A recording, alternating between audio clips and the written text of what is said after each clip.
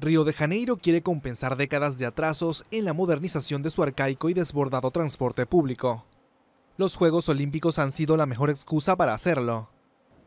Con un conjunto de obras, el primer objetivo es atender a las 450.000 personas que asistirán al evento deportivo.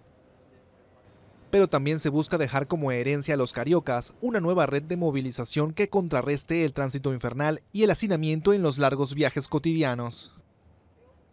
Cuando el povo entra, igual parece un mundo de cavalos, ¿sabe?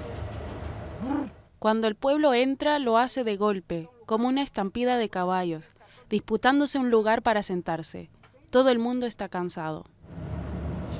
El nuevo sistema incluye 156 kilómetros de corredores para buses expresos. También un tranvía moderno y una nueva línea de metro que podría estar operativa en julio, un mes antes de los Juegos. Hasta entonces, el bus es la única opción para el desplazamiento desde barrios turísticos hasta los lugares de las competiciones olímpicas.